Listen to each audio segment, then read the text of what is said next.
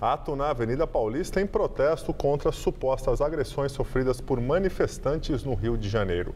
A repórter Fernanda Azevedo acompanha essa manifestação e tem outras informações. Olá, Fernanda, boa noite.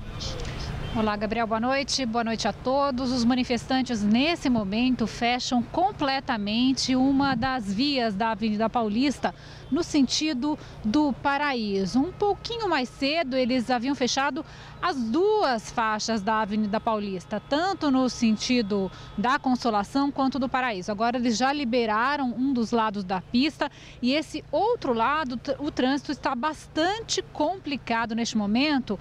Até a manifestação, a polícia polícia e os agentes da CET conseguiram liberar o trânsito, mas deste ponto que nós estamos no MASP para trás, o trânsito está bastante complicado e também uh, no, no, outro lado, no sentido da consolação, o trânsito também está complicado porque os manifestantes acabaram de liberar a via, então há um grande fluxo represado. Esses manifestantes eles se organizaram pela internet para fazer um ato de apoio aos manifestantes do Rio de Janeiro, que segundo eles têm sofrido com a violência policial. Eles pintaram algumas faixas uh, com palavras de ordem e também pedindo a saída do governador do Rio de Janeiro, Sérgio Cabral. Eu conversei com alguns dos organizadores, eles dizem que não representam nenhuma instituição, nenhuma. Uh, nenhum partido, que eles não têm uma bandeira, eles apenas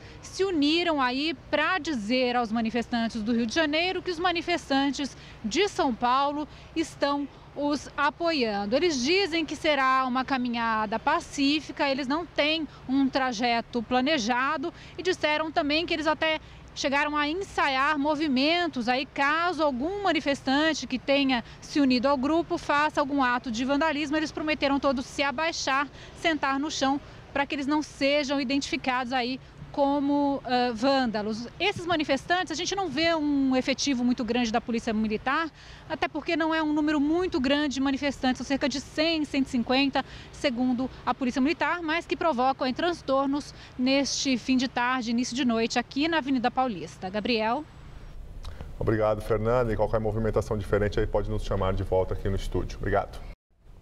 Protesto na Avenida Paulista Voltamos a falar com a repórter Fernanda Azevedo, que tem mais informações. Fernanda, boa noite novamente. Mensagem a voz de Márcio Pacheco. Esse trecho da Avenida Paulista, aqui no sentido do Paraíso, já foi liberado para os motoristas, mas a gente observa que o trânsito está completamente parado por conta de uma manifestação, um grupo de cerca de 300 manifestantes, segundo a Polícia Militar, que faz aí uma caminhada pela Avenida Paulista. Uma parte desse grupo já retornou ao Vão do MASP, um pequeno número de manifestantes já está no Vão do MASP, mas o trânsito continua bastante complicado e segundo informações da Polícia Militar, duas agências bancárias foram depredadas por alguns manifestantes, uma agência do Banco Itaú e uma agência do Banco Santander. Essa manifestação começou aí com uma concentração no vão do MASP, o grupo se articulou pelas redes sociais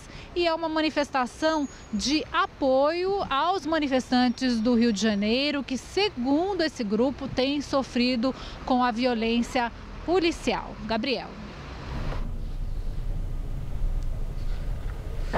Obrigado, Fernanda. Agora sim, uma boa noite para você, um bom final de semana.